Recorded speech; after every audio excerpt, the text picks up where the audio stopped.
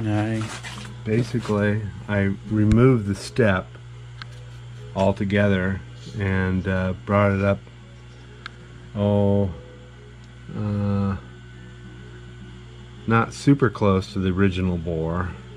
So that once I bore it it'll all come in uh, to the thick wall cylinder. So and it's you know right to the spark plug hole basically. So so of course I have to be careful not to when I put the spark plugs the dummy spark plug in to shape the chamber I don't try not